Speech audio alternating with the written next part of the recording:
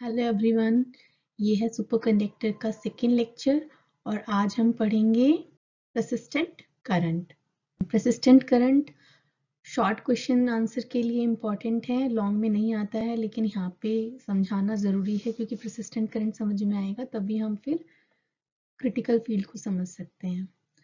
तो persistent current समझने के लिए हम इस डायग्राम को समझते हैं। यहाँ पर हमने क्या किया? एक सुपर कंडक्टिंग मटेरियल की रिंग ली है, जो superconducting material behaviour show करता है, उसका एक हमने रिंग लिया। उसको हमने मैग्नेटिक फ़ील्ड में रखा तो जब हमने उसको मैग्नेटिक फ़ील्ड में रखा तो मैग्नेटिक लाइन ऑफ़ फोर्सेस उसमें पास होने लगी। अब हमने इस रिंग का टेम्परेचर, अब यहाँ पे क्या है, इसका temperature T is greater than TC है। इसके क्रिटिकल टेम्परेचर से हमने इस अभी रिंग का टेम्परेचर ज़्यादा रखा हुआ है। अब हमने इस रिंग का टेम्परेचर डिक्रीज करना स्टार्ट किया तो जब हम इसका टेम्परेचर डिक्रीज करेंगे तो बिलो क्रिटिकल टेम्परेचर ये लाइन ऑफ़ फोर्सेस क्या होंगी? पुश आउट होंगी ड्यू टू मैजनर इफ़ेक्ट और ये लाइन ऑफ़ फोर्सेस कुछ इस तरीके से पास होंगी।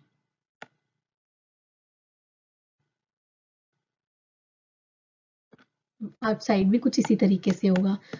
Due to Meissner effect below critical temperature superconducting material जो है डायमैग्नेटिक हो जाते हैं और ये लाइन को पुश आउट करते हैं।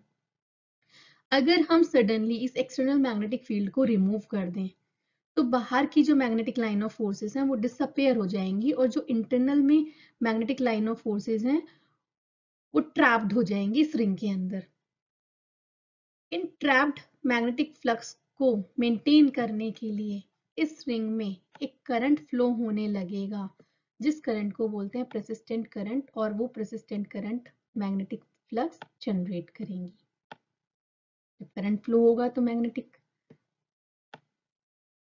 फ्लक्स जनरेट होगा मैग्नेटिक फ़ील्ड बनेगा। तो कुछ इस तरीके से मैग्नेटिक फ़ील्ड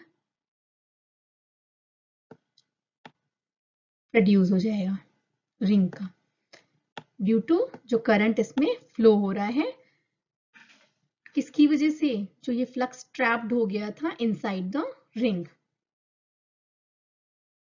इस करंट को बोलते हैं प्रसिस्टेंट करंट हमने एक्सटर्नल मैग्नेटिक फ़ील्ड रिमूव कर दिया, उसके बाद भी रिंग में करंट फ्लो हो रहा है और विदाउट एनी एक्सटर्नल ईएमएफ ये करंट ऐसे ही मूव करता रहेगा for long years at least ten to power five years जिसकी वजह से ये मटेरियल सुपर कंडक्टिंग मैग्नेट्स में कन्वर्ट हो जाएगा।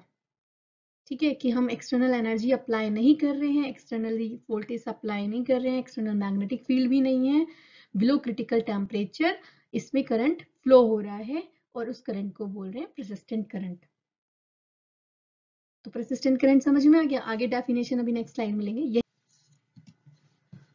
persistent current in superconducting material, current will continue to flow in a closed loop as long as loop held below the critical temperature Tc, such steady current which flow with undiminishing strength is called a persistent current.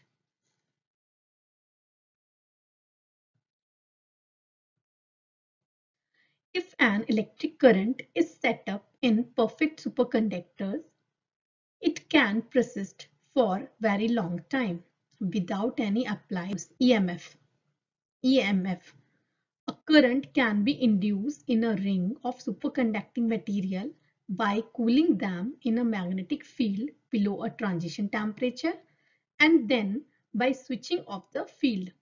When we switch off the field, the magnetic flux outside the ring disappear but the flux inside the entire ring is trapped. The collapse of the magnetic field outside the ring induces a large persistent current inside the ring and maintain the trap flux.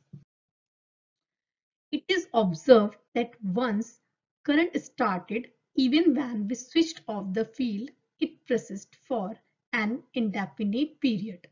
It is due to zero resistivity below the transition temperature. Calculation shown that once the current flow is set up, it persists for more than 10 to power 5 years. Superconductors coils with persistent current produce magnetic fields.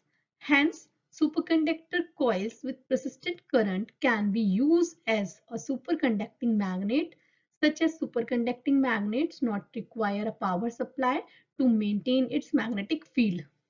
Hope कि आज आपको ये lecture समझ में आया हो thank you